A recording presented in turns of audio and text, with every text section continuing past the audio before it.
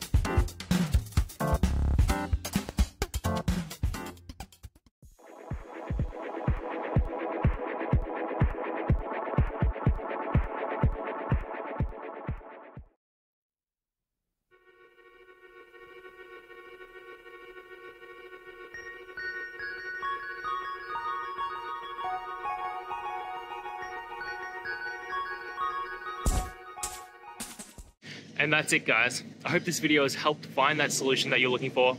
And if it did, please hit the subscribe button. I'd really appreciate it. Now, until the next time that you need technical help, I hope you have a good one.